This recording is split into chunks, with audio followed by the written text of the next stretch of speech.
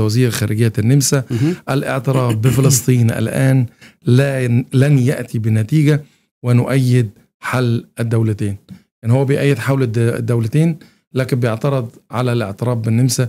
وإن كان هناك كانت خطوات جريئة من آه، أسبانيا والسويد تقريبا. السويد و... والنرويج. فنلندا. وفنلندا لا النرويج تقريبا. النرويج وإسبانيا وإيرلندا عفوا. آه وإيرلندا. كان في هناك اعتراف آه، وسلوفينيا في الأمس قررت الاعتراف أيضا. طبعا آه، يعني أنا هذا لن ازيد صراحة كثيرا على اللقاء الذي قال به السيد صلاح عبد الشافي آه، سفير سفير فلسطين في كان لي لقاء معك. آه يعني أنا عايز برضه تعليقك برضه أو النتائج نعم. الاستنباط رد فعل يعني السفير. قال قال قال السيد عبد الشافي ان أن النمسا تنتهج شيء من ازدواجية المعايير شيء من عدم الوضوح بطريقة بسياستها بما يخص بما يخص آه، آه، آه، الحالة الفلسطينية وتنحاز بشكل أعمى إلى الرواية الإسرائيلية وتتبناها بشكل كامل إن صح التعبير كما قال يعني. وهذا الشيء فعلا يبدو جليا وواقعيا يعني من خلال آه، آه، تعنت النمسا وامتناعها على على التصويت بالجمعية العامة للأمم المتحدة أكثر من مرة بموضوع إيقاف إيقاف الحرب. وقف إطلاق النار. وقف إطلاق النار. ففعليا النمسا صراحة كان لها موقف سيء جدا بهذا بهذه النقطة. وهذا الشيء لربما جعل النمسا لربما بموقف آه، محرج بموقف غير واضح بصراحة. يعني تنحاز إلى جهة على حساب جهة أخرى. يعني من يش... يعني فهمنا أنه حماس قامت بعملية إرهابية وما إلى ذلك فهمنا هذا الكلام. طيب والأربعين ألف شخص اللي قضوا وأكثر منهم بين مفقود وبين جريح وبين آه، الله أعلم شو شو وضعه نعم. هدول شو وضعهم يا سيد شالنبرغ؟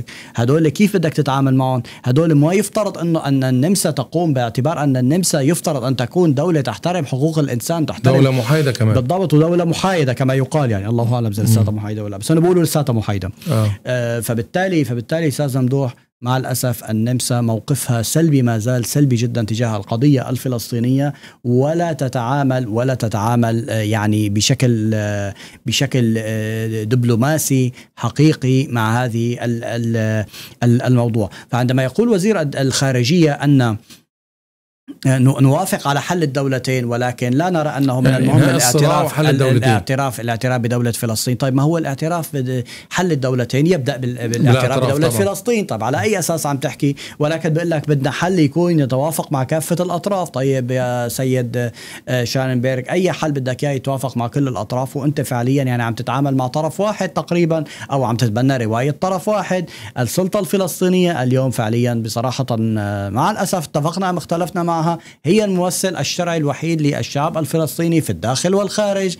وهذا وهذا على الأقل شالنبرغ لا يتعامل معه يضغط القضية الفلسطينية كله بحماس على أن الشعب كله حماس الذين تظاهرون بالشوارع حماس الذين يرفضون الإسرائيل حماس الذين يرفضون حماس نفسهم هم حماس. لا بس هو برضه عنده خلط كتير خلينا نتفق بس نعم. برضه إني برضو عملية اللي بتساعد في عملية الاعتراف بدولة فلسطين أن يكون هناك توافق داخلي.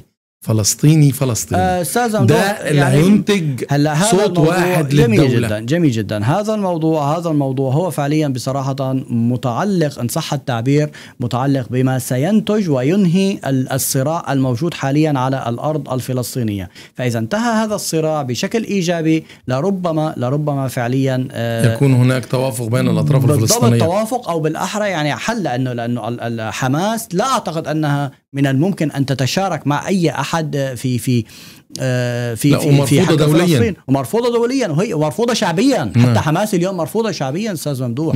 نعم.